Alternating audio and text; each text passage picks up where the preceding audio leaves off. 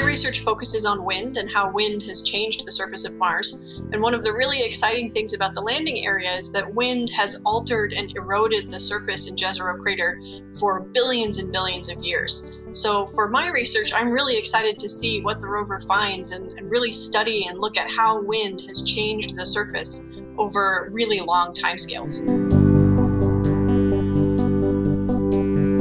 For my research, one of the things that makes Mars particularly special is that wind is really dominating the surface of Mars. And we have wind on Earth, but we also have glaciers and water, and those things act much faster. So it's really hard to tell exactly what wind is doing on Earth because it gets overprinted and kind of erased really quickly. So the nice thing about Mars is we can use the rover to study what happens when you just kind of let wind go and let wind do its thing for billions and billions of years.